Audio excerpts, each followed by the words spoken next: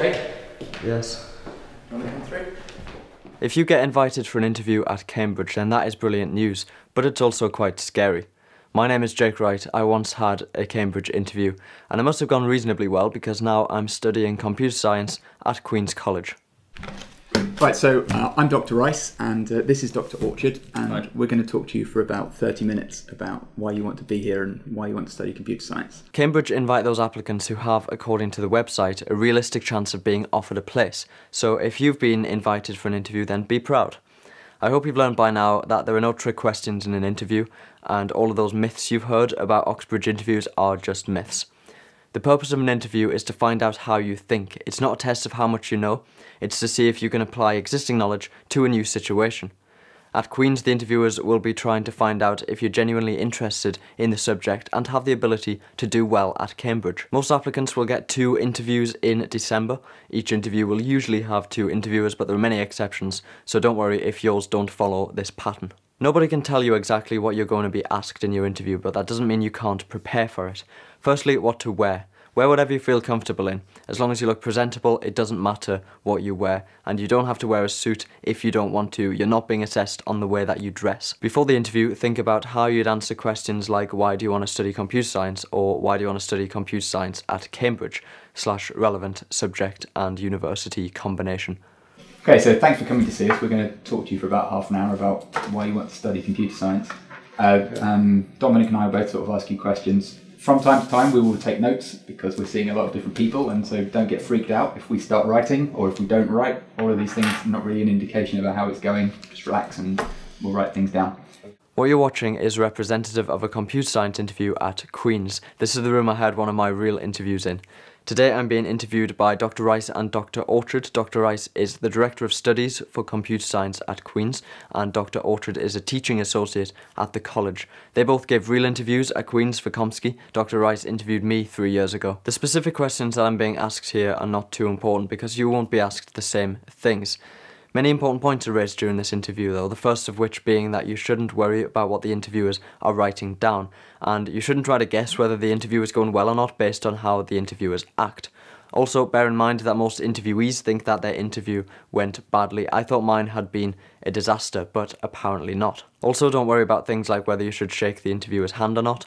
There is no requirement to do this, and whether you do or not will have no effect on the outcome of the interview. So um, I see from your math modules that you've been doing trigonometry, and so um, Yeah. maybe you can start us off and uh, draw me a sketch of sine x.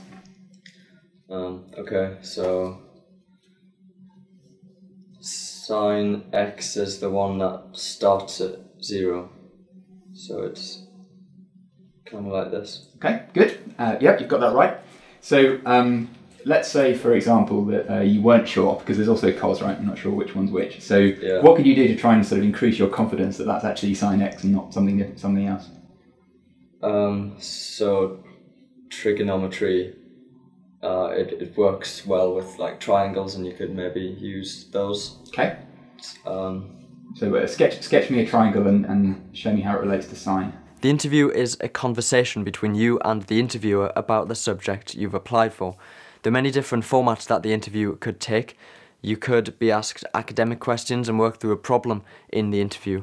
In this case, the interview is a lot like a supervision. Supervisions are one of the main learning methods at Cambridge, so the interviewer might try to create that sort of environment to see how you cope. Alternatively, you could have a more general interview. The interview might not even be directly related to your subject. You might be asked about your personal statement, or you could get some combination of this in one single interview. You are likely to get a question that really makes you think, and the interviewer will keep pushing you until you can't do it anymore. So if you get stuck, don't worry, that is kind of the point. Why is that not a good one to try? Um, it's like halfway through the cycle. What, what happens to your triangle when theta is 180? Or x Oh, 180? it's it's gonna be like gonna be a- weird. yeah, a Okay. straight line. An important thing to do is to stop and think about your answers to questions before you try to give them. Nobody expects you to already know the answer to everything. In fact, if you just recite the answer to every question that the interviewer has, they can't learn much about you. So the questions might get harder during the interview to force you to demonstrate your ability to work through a new problem. I'm not sure what length I should use for the other sides. So, um, uh, What what triangle would you get if you set, for example, this length and this length to be the same? Could you sketch that? Um, so I said they were just both one. Mhm. And this is 45 degrees. Okay, so how do you how do you know that that's forty five? Um, because it would be the same as this one, and we get Yep. Well, you could add another one of these triangles on the top right, and then you've got a square, and so you know that's ninety. Yeah, Okay, so if that's okay. forty five, what can you say about sine forty five? um, so it's going to be like this side divided by this side, and if they're the same, then it's going to be one. So so what what what what is sine of forty five on this triangle? Thinking about your equation. Oh no, it's going to be this side divided by the hypotenuse. Yeah. Okay, so the hypotenuse is uh, like one square root of one squared plus one squared, which is root 2 Mm-hmm. So now we get okay one over root two. Okay. Good. So does that reinforce our confidence in this graph or diminish it? Um, it might reinforce it if I knew what one over root two was. Yeah. Well, at least it's positive, right? So that's kind of Yeah. nice. Making mistakes is completely fine and you're allowed to ask for help. As you're working through the problems, think out loud. Let the interviewers know what's going on in your head. Don't just sit and struggle in silence. Okay. Um, I would like you to sketch for us sine x over x. Um, okay. Uh, why don't you Why don't you start with sketching for us one over x? Y equals one over x. So when this is x, and this is going to be 1 over x, when x is 0, we get 1 divided by 0, so we get uh, the asymptotes here. And then it does something like this. What about in uh, for negative values of x? Um, okay, so it does like the same thing on this side. Okay, so what about for um, x equal to minus two? What's the value of y then? Um, so maybe that's about there. So we'd get 1 over minus 2, like minus a half. Oh, so minus a half is is somewhere down here.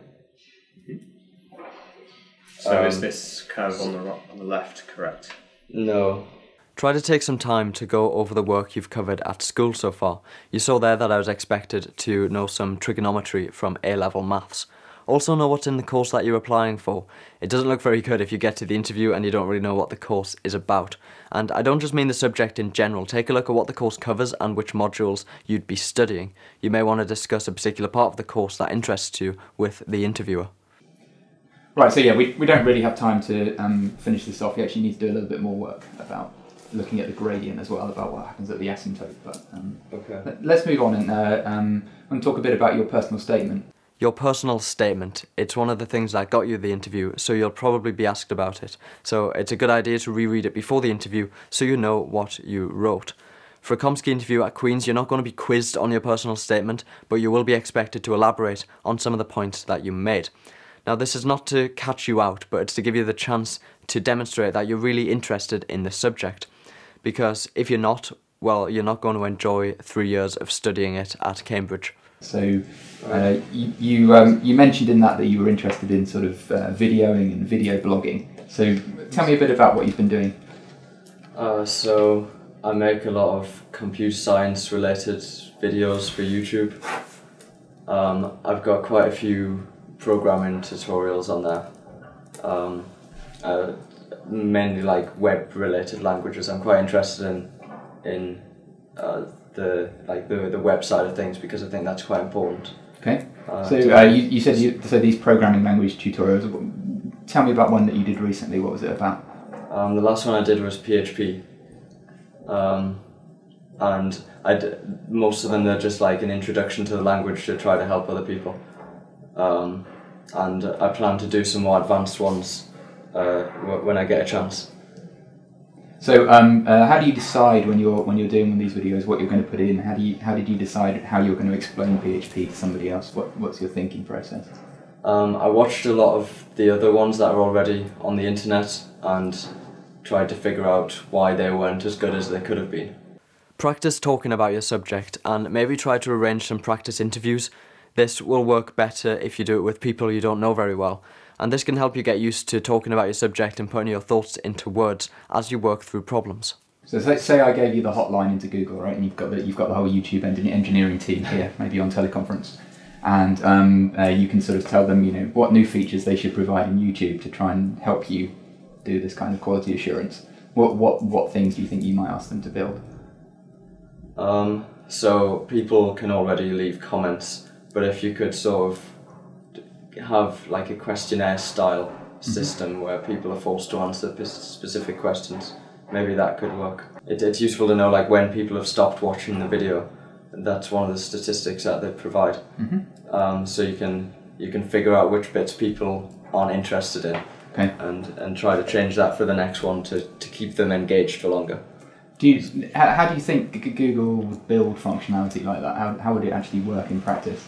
As you can see, the topic of the interview is based on my personal statement, and the questions are all relevant to the direction that the conversation is taking. When you hear ridiculous Oxbridge interview questions like, would you rather be an apple or a banana? They sound crazy and intimidating, but that's because they're taken out of context. I'm sure out of all of the crazy questions you've heard, the ones that are actually real made a lot more sense at the time.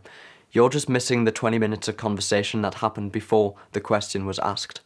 Now, you mentioned on your uh, personal statement that you're interested in programming languages and uh, Java particularly.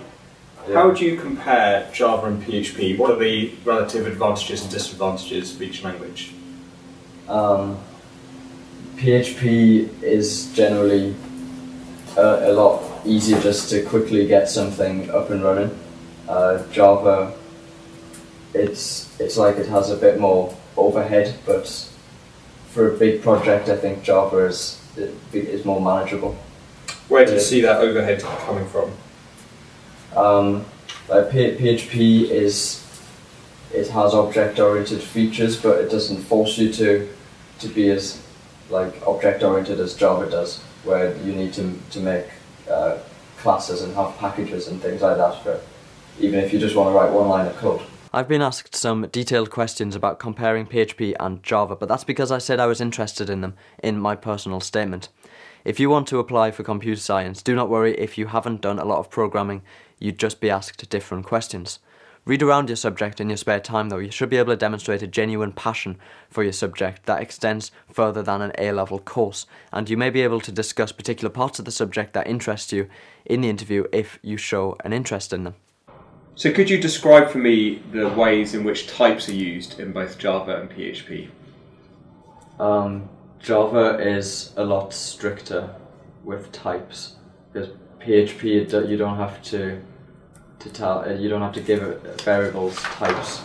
It just seems to figure it out itself. Um, Java it, uh, is it called statically typed? Mm-hmm. Um, you you need to you need to define it for every variable.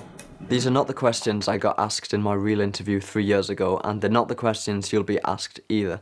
The interviewers are there to get the best out of you, so don't panic when you hear about what other people have been asked. Okay, great. Well, thanks very much, Jake. We've just about run out of time. So um, uh, before we finish, is there, are there any questions that you want to ask us that um, have come up or about the process? The interview will end with a chance for you to ask any questions you may have. You don't have to ask anything. By this point, the interview is over. This bit is not a test. And if you don't have a real question, you're probably better off not asking anything instead of coming up with something stupid on the spot. Don't ask anything that can easily be answered by looking in the prospectus or looking on the website. And you probably don't want to ask about the interviewer's research because it's not really relevant to your application. And they don't have time to tell you about years worth of research. The next interviewee is probably sitting outside by now. Great. So I think you've got um, one more interview today, and then your thinking skills test this afternoon. So yes. best of luck, and it's very nice to meet you. Thank you. And, uh, thanks very much. Remember that the interview adds to the rest of your application. The interview alone is not going to make or break your chance of getting in, so relax and be yourself. Good luck with any interviews that you have. I hope this has helped give you a better idea about at least what a CompSci interview is like. If you have more questions about admissions and interviews at Queens', then you can email the admissions office. They'll be happy to help. Same goes for other colleges, and I'm sure the universities have something very similar. To learn more about life at Cambridge from my point of view, then please subscribe. Thanks for watching.